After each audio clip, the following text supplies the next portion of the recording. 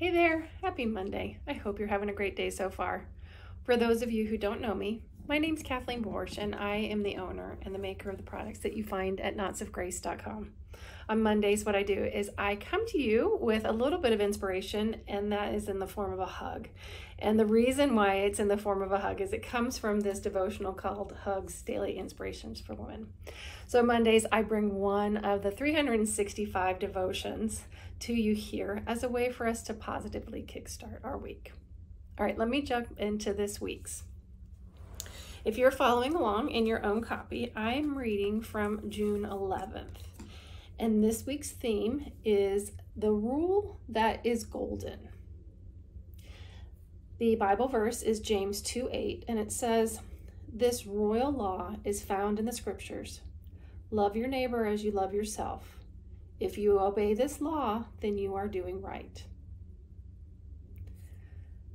Life is simply better when we treat other people the way we want to be treated if we were in their shoes.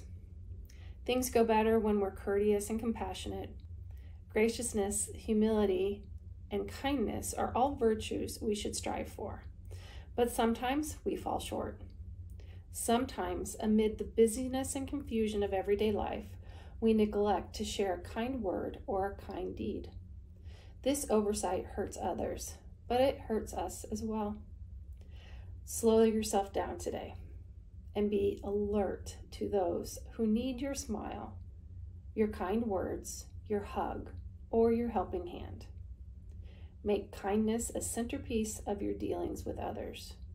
They will be blessed, and you will be too. And this week's quote is from Helen Keller, and she said, Believe when you are most unhappy that there is something for you to do in the world so long as you can sweeten another's pain, life is not in vain. So, on that note, I hope you take a few minutes now to sit and pray or meditate on this message and the rule that is golden, which is treat others the way you want to be treated. It's something that, you know, we learned as kids, and it's an everlasting one to learn and to, to keep on learning throughout life. Um, so I think it is a fantastic way for us to start this week off on a positive note. I know it is for me.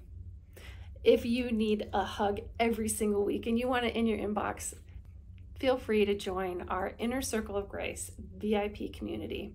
Not only will you get this in your inbox every Monday, but you will also get discounts year round and you'll get updates and some other great information from me on a semi regular basis.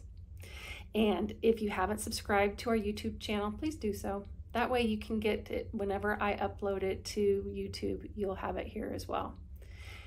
And just know, I'm praying for you. Please pray for me and everyone in our community that we all can treat each other the way we want to be treated. All right, then, until I see you again next week, take care. Bye. Mother Mary, pray for us.